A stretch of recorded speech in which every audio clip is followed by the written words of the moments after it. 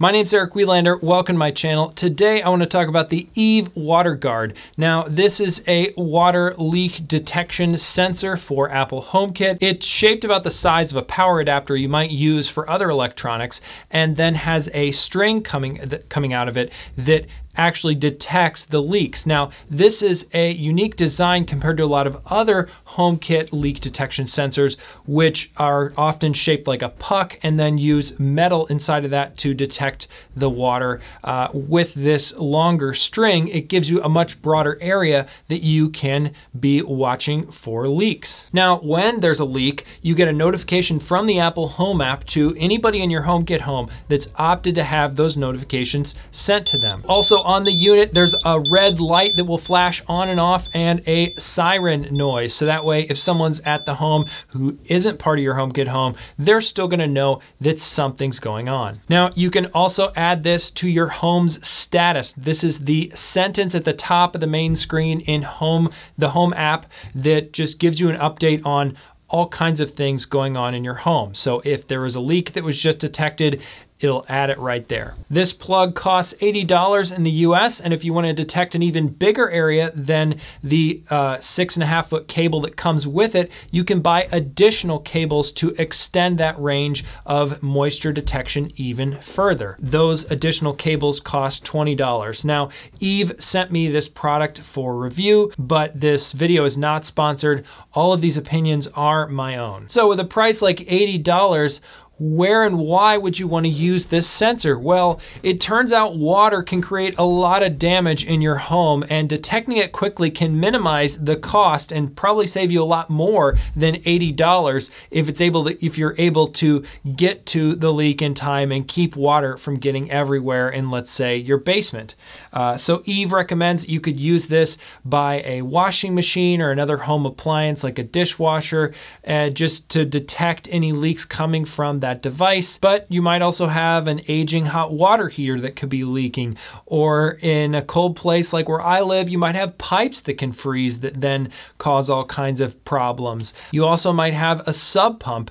That's personally where I decided to put mine. So I've been working from home for about 10 months now, and I work out of an office in my basement. Now there's some built-in cabinets along the wall of my office, and one of those covers our sump pump for our basement. So if that sump pump ever leaks or has issues where it backs up and um, you know water starts to come into the basement, I want to know about that right away. I don't want to find out about all this water damage when I show up to my office to work. So setting this product up. Now it's important to note that it does connect to Apple HomeKit over Bluetooth like a lot of Eve's other products. So this means that it needs to be within about 30 feet of whatever is your HomeKit hub. So this is a HomePod, an Apple TV, or an iPad that is remaining on in your home network and is able to uh, detect things from sensors like this and then send out those notifications to you if you're away from your home. It also does other things like automation that we won't get into in this video. And you can configure which is your HomeKit hub in the Home app. Now, if you want this to be further away from your HomeKit hub, you can buy an additional $50 Eve Extend product, which allows, uh, it basically extends the Bluetooth range of your HomeKit hub and then allows you to put this sensor even further away. Another thing to note is that this does, at the time of recording, require iOS 13.3. So if you're trying to set this up with a phone still on iOS 12, you're not, it's not gonna work. So in the box, you get the plug itself along with manuals, the HomeKit code, the string, which then allows you to detect moisture, and then different plug adapters for different parts of the world. This product is intended to ship to a variety of different markets, so they ship with the different plug adapters. Now, then you just simply choose the one you need and put it on the device. So once you've added your country's uh, plug adapter, you simply select where you want it to go in your home, plug it in, and go through the setup either in the Eve app or the Apple Home app. Simply scan or enter the HomeKit code, give it a name, assign it to a room, and then you can determine what you want for status and notifications. I have my office pulled up here in HomeKit and you can see the tile for the Eve water guard. It's actually being triggered right now, which we'll get into in a second, but I have muted the alarm. Uh, then if you go down to the uh, details here, you can see status and notifications. Now, including in status, if you want it in the status of your home, you can just have that turned on. That's on by default. And then notifications on this phone. So this is specific to the device. Now, this is also turned on for anyone else in your smart home who has uh, notifications turned on for Apple Home on that device. So they might want to go in and turn this off or mute notifications for the Apple Home app. This is just how Apple has this whole system set up and it's pretty easy to manage, so nothing specific to this sensor.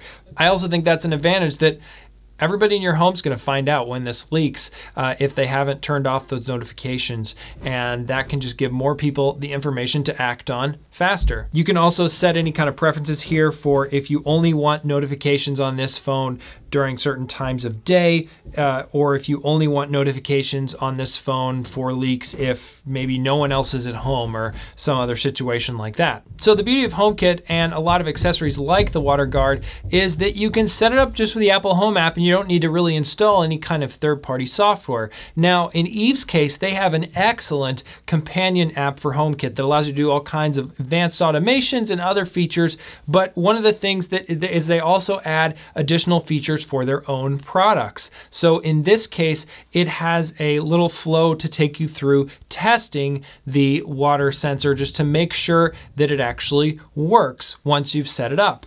So you can open the app and go to settings, accessories, and then find that uh, sensor you want to test. Go in there and there's an option to test and um, it'll walk you through the steps. Basically, you want to get a, a little container of water that you can submerge some of the string in and then it will sound the alarm. Now, I did notice that the siren is a little bit softer during the test, which I think is a nice attention to detail. And then you can also configure the interval at which you want Eve to automatically automatically remind you to do the test again. They default this to six months, but I chose one year. So in actually using the water guard, you know, it's pretty much set it and forget it and then, you know, hope that you don't get a notification. But at the same time, the string mechanism does have one downside, which is that it takes a little bit to dry. I found in order to get mine to dry, I needed to like take it upstairs and put it in a window by the sun so that it gets completely dry before I plug it back in. Of course,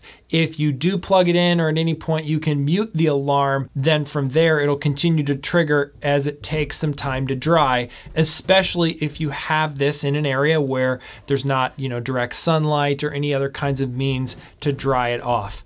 I, I certainly wouldn't recommend putting this in like a dryer or something. Just just let it sit out for a little bit and you know in an hour or so you'll probably have a dry string depending on where you live. So it's not a big deal. It's probably more of a bigger deal for YouTubers like me actually testing the product than it is for actually using it, but it is something I just wanted to mention. Overall, as a water leak sensor, it's a great design. It gets around some of the common problems with smaller puck designed sensors because they can't detect as big of an area as this. I also love that the cable is extendable so you can get additional cables from Eve. And it's very privacy focused device from a privacy focused company. So it just works with Apple HomeKit. Now, this can be a great advantage in that, you know, you're not going to see ads for a plumber when your sensor starts to detect a leak. But at the same time, if you like using other ecosystems like Amazon's Alexa or Google Nest, you're not going to be able to use this sensor with it. Personally, I don't see that as a big deal because as long as you get the notification somehow, then it's fine. But it does mean that, you know, you got to be using Apple devices to work with Apple HomeKit. Now, it also works over Bluetooth, and as I mentioned, that does have some range limitations. But I think overall, it's a really well-designed product. It pairs with some really powerful software in the Eve app, and I think it's one of those sensors that can just really add a lot of peace of mind to know that you're not getting a leak or a bunch of water coming into your basement or wherever is a worry to you. So if you want to pick up one of these sensors for yourself,